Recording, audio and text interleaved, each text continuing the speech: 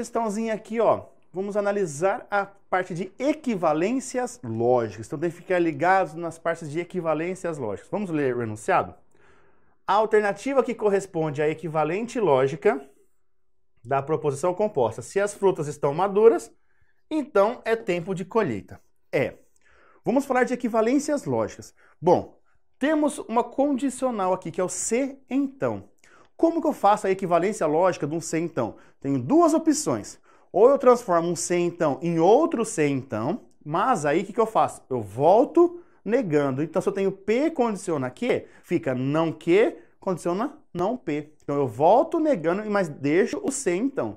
Ou se não, eu posso fazer o quê? Transformar uma equivalência lógica aplicando a regra do Neymar.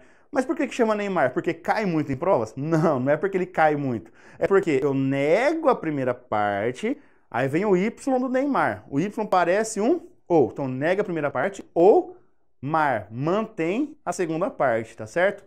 Vamos resolver essa questão e ver qual delas então? Qual das duas será? Qual das duas equivalentes? Veja, uh, eu tenho P condiciona Q. As equivalentes, como que fica? Não Q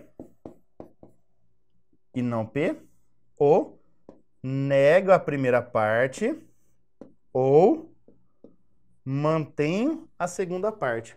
Ou, então tem que ter um ou. Então, se não tiver o C então, se não for do C então, tem que ter um ou. Essa tem um ou, essa tem o C então, essa tem o E.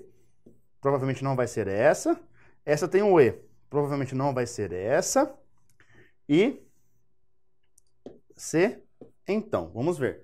Vamos pensar no C então. Então tem, tem ó, uma, duas com C então.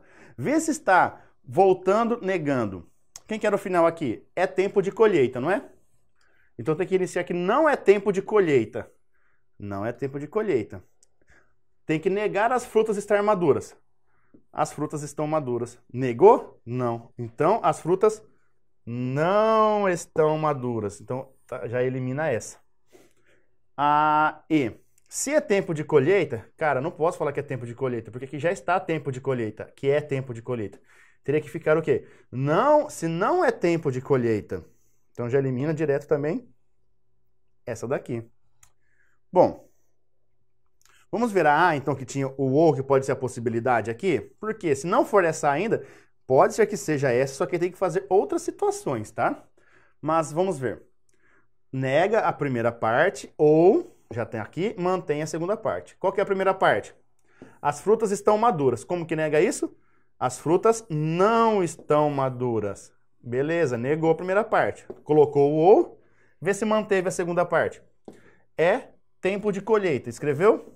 É tempo de colheita. Então, maravilha, manteve. Alternativa correta, alternativa A. Lembre-se das equivalências lógicas porque cai muito em concursos, hein? Tá certo?